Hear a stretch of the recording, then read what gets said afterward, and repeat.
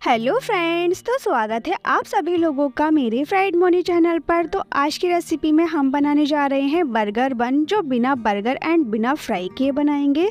तो बर्गर के लिए सबसे पहले हम आलू के टिक्की बनाएँगे, जिसके लिए मैंने यहाँ पर एक बॉयल आलू लिया है, जिसको अच्छे से मैश करेंगे। एंड अगर आप लोगों ने अभी तक वीडियो को लाइक नहीं किया हो तो फटाफट से इसको लाइक कर लो। मैंने इसको अच्छे से मैश कर लिया है, इसमें टेस्ट के अकॉर्डिंग मसाले ऐड कर लेंगे। जैसे कि आधा स्पून लाल मिर्च पाउडर, आधा स्पून इसमें हल्दी पाउडर लेंगे और आधा स्पून मैंने इसमें नमक ऐड किया है।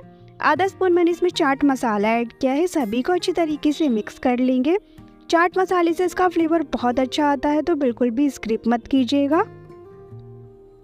फिर इसमें हरा धनिया ऐड करेंगे और इसको एक बार फिर से मिक्स कर लेंगे।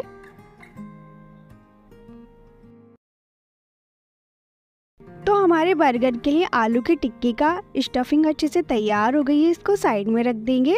यहाँ पर हम एक बाउल में लेंगे एक कप बेसन।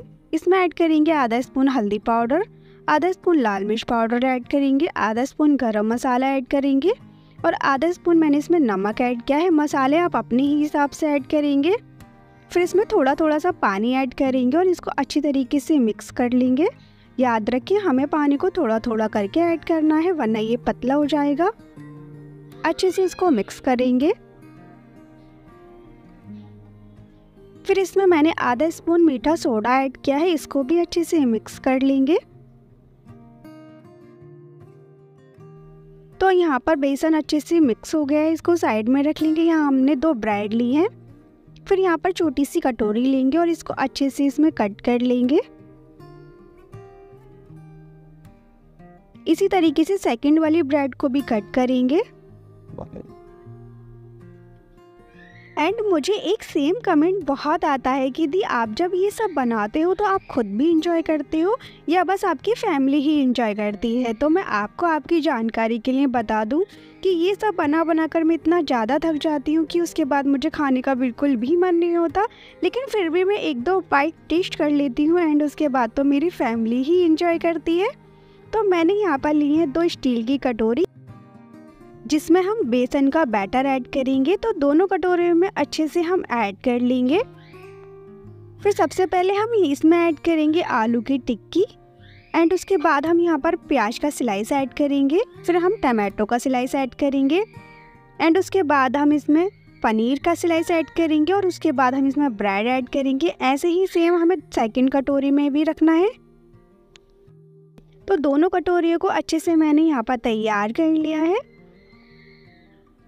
फिर मैंने पहले से ही पानी को अच्छे से उबाल लिया है। इसमें हम दोनों कटोरियों को अच्छे से रख लेंगे।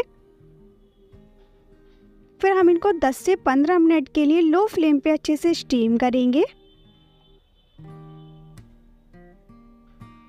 तो ये अच्छे से स्टीम हो गई है, हम इनको अच्छे से निकाल लेंगे, फिर हम इसको चाकू की सहायता से हल्का हल्का से इनकी साइडों में चाकू अच्छे से लगा लेंगे, जिससे कि ये बहुत ईजिली निकल जाती है। इन्हें निकालने में बिल्कुल भी परेशानी नहीं होती है, चाकू से अच्छे से साइड से हम निकालेंगे।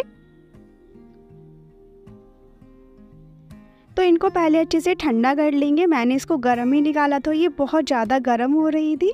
तो आप लोग इसको अच्छे से ठंडा कर लो। उसके बाद ही इनको निकालो। बहुत ईजिली निकल जाती है। तो देखो, मैंने इनको अच्छे से निकाल लिया है। फिर हम इनको अच्छे से कट कर लेंगे।